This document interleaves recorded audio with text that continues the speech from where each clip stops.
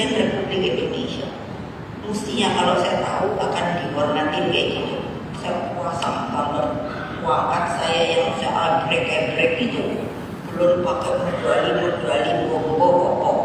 Belum lagi dari tentara opo dari tentara TNI nya luar negeri itu juga ada kan bombo bobo lagi tuh terus saya bilang kalau jalan saya begini karena berat ya bayangin tapi semuanya pakai gituan dihormati saya.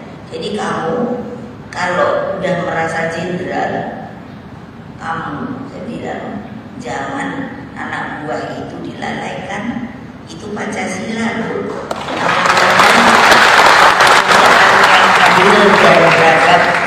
tapi ada juga jenderal makanya itu ngomongin nyentil itu Pak Sambu. Itu anak buah sendiri di aku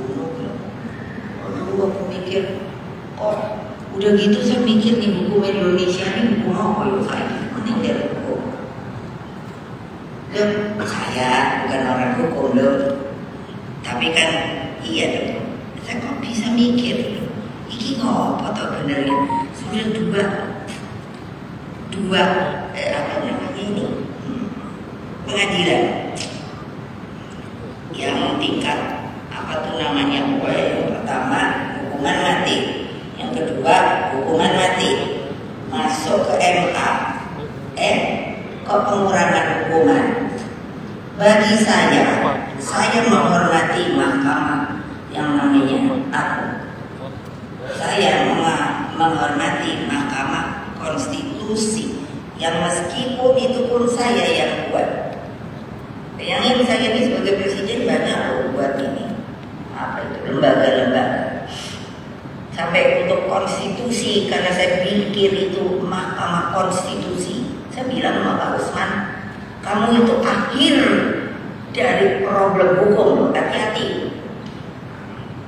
Jangan main-main. Kenapa? Nah setelah itu mau ke mana? Siapa mau ngadu Hah? rakyat kecil mengadu nggak bisa nah seperti itu lo kok bisa lo dikasih apa namanya pengurangan hukuman. Lo saya tuh sampai mikir gini anak orang udah meninggal. Meskipun ya prajurit terpokoi apa karena nilainya hanya prajurit ha? nah ini masukin tuh wartawan. Ya kalian jadi jenderal karena yang mati itu anak